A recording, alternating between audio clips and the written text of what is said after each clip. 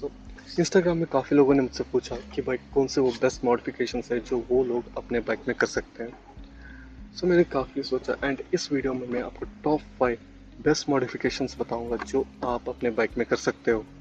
भले ही वो कोई भी हो आरटीआर हो एन हो हॉर्नेट हो या एक्सब्लेड हो जो भी है नेकेड बाइक्स पे ये चीज़ अच्छी लगेगी। ये मॉडिफिकेशंस यूजफुल होंगे बजट फ्रेंडली होंगे एंड लीगल होगा। So let's dive into this मैं हूँ Srinidhi and welcome to my channel so start करते हैं. सो नंबर फाइव पे आता है इसका हैंडल कार्ड्स जो मैंने इस बाइक में लगाए. सो so, ये हैंडल कार्ड्स जो है बहुत ही यूज़फुल है. अगर कहीं पे आपका बाइक गिरता है ठीक है या फिर कुछ एक्सीडेंट होता है तो आपके हाथ बचाता है मतलब उंगलियाँ बचाते हैं ठीक है अगर गिरता है कहीं पे तो ये आपका ब्रेक लिवर्स क्लच लिवर्स उनको बचाता है. सो so, इस मामले में ये काफ़ी ज़्यादा यूज़फुल होने वाले हैं। पर एंड एक और चीज़ ये कि भाई ये जो आपका बाइक है उसका ओवरऑल लुक थोड़ा बल्कि बनाता है। जब कभी ये बाइक रोड पर चलती है थोड़ा लुक वाइज भी ये काफ़ी ज़्यादा अच्छा लगता है। सो so, इसलिए मैंने इसका नंबर फाइव पे रखा हुआ है। एंड चलते हैं अगले मोड़ पे। नंबर फोर पे आता है आपका ये मिरर्स ठीक। ये आफ्टर मार्केट मिरर्स हैं स्टॉक मिरर्स नहीं है। स्टॉक मिरर्स काफ़ी बल्कि हैं ठीक है? बल्कि है एंड थोड़े अजीब वगरीब शेप में आता है। सो so, इसमें मैंने लगाए हैं के टी एम के मिरर्स ये आपको जेन्यून शोरूम में मिल जाएगा। 600 या 700 समथिंग का इसका पैर पड़ा था मुझे। सो so, ये आप लगा सकते हैं। व्यूइंग एंकल्स ठीक है एंड एस्थेटिकली बहुत बढ़िया लगता है। सो so, ये है मेरा फोर्थ मॉडिफिकेशन अब जो सो so, चलते हैं तीसरे मॉडिफिकेशन पे।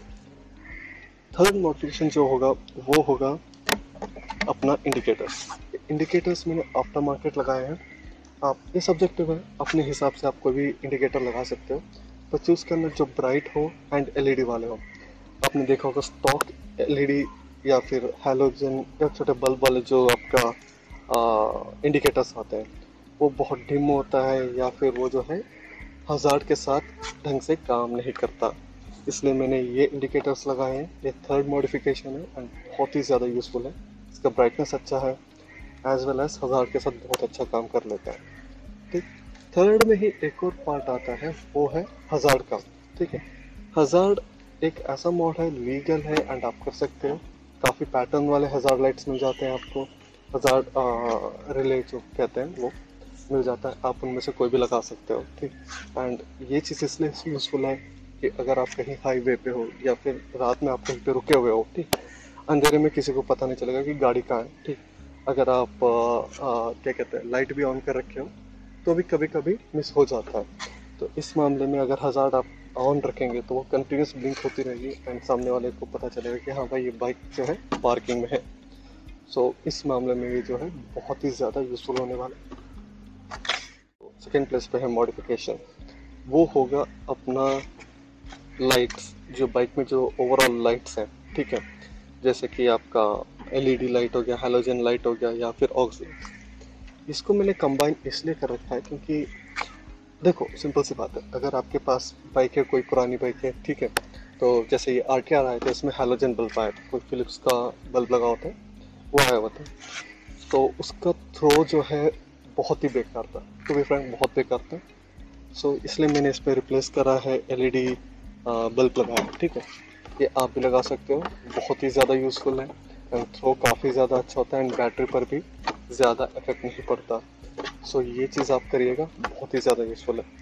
साथ ही साथ, अगर आप हाईवे राइडिंग करते हो, या आप ऐसी जगह में कहीं पर रहते हो, जहाँ पे ज़्यादा फॉग पड़ता है, उन केस में अच्छा होगा कि आप एक ऑक्स लैम्प लगाएँ। मैंने हालाँकि इसमें लगाया नहीं है, क्योंकि आप देख सकते हो, मैं ऐसा कोई जगह में हूँ नहीं कि भाई ज़्यादा बारिश आता मतलब ज़्यादा फॉग आता हो या फिर इतना ते इतना बारिश के भाई सामने सारा धुंधला हो जाए वैसा कोई सीन नहीं होता।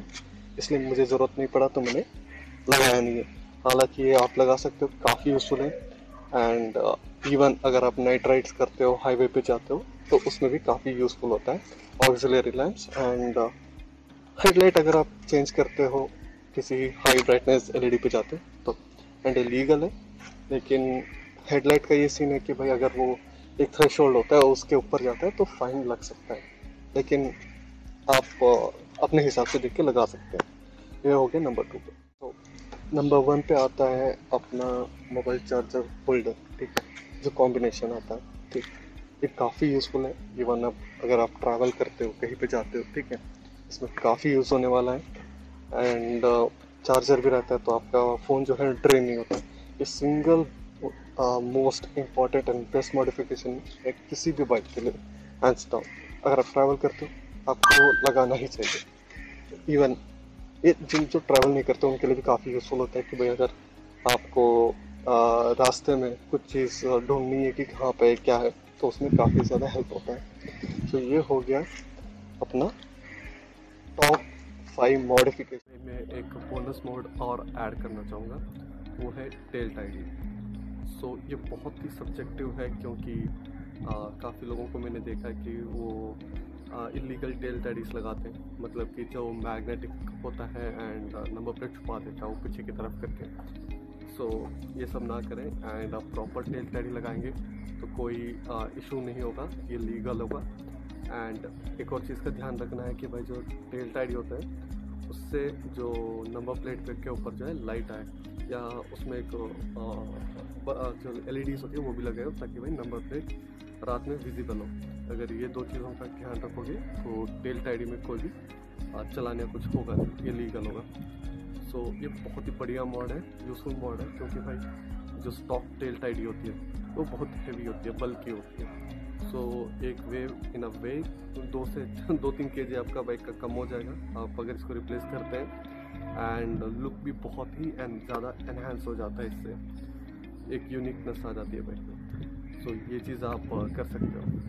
सो so, मेरे हिसाब से ये था top five best useful modification जो लीगल भी हैं। सो so, आप कमेंट करके बताइए कि आपने कौन कौन से ऑलरेडी करवा रखी है या फिर आपने कौन कौन सा सोचा कि आगे करेंगे।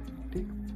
So thank you for being with me and take care subscribe like करिएगा अगर आपको ये वीडियो अच्छा लगा।